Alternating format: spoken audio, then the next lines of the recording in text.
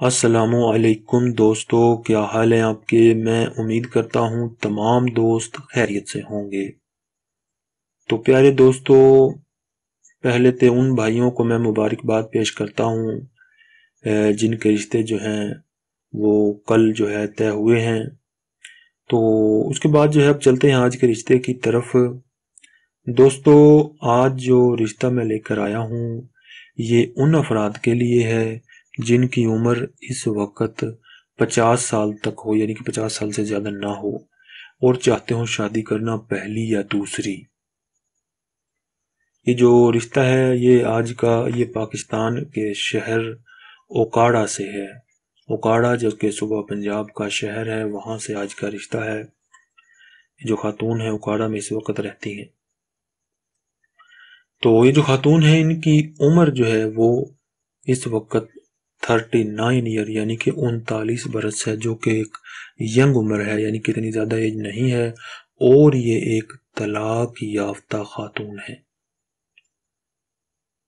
शोहर से अलहदा हुए तीन साल हो गए हैं, दो बेटियाँ हैं, दोनों अपने बाप के पास ही रहती हैं।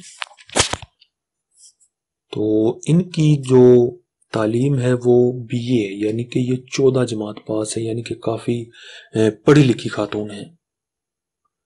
और पाँच फुट तीन इंच इनकी हाइट है, फिफ्टी नाइन के जी इनका वेट है, स्लिम स्मार्ट यानी कि खूबसूरत है।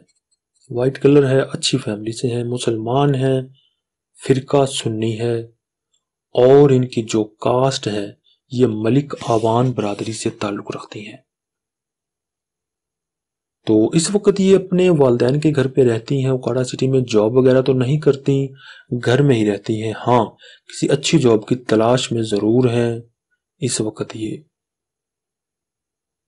तो इस रिश्ते के लिए वो दोस्त मर्द हजरात रबता कर सकते हैं, जिनकी उम्र पचास साल तक हो और चाहते हो पहली या दूसरी शादी करना। लड़का जो यानी कि मर्द जो हो, वो अच्छी फैमिली से हो, कम अज़ कम तालीम मैट्रिक लाजमी हो, पाकिस्तान के किसी भी शहर से हो, या बैरून मुल्क कहीं भी रहता हो जॉब वगैरह के सिलसिले में या कारोबार के सिलसिले में, वो भी रबता कर सकता है।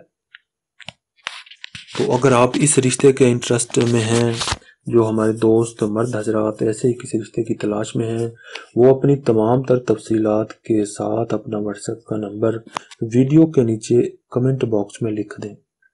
हम आपसे रबता करेंगे इंशाल्लाह, अगर आपके नसीब में हुआ तो ये रिश्ता ज़रूर आपके लिए खुशियाँ लेकर आएगा।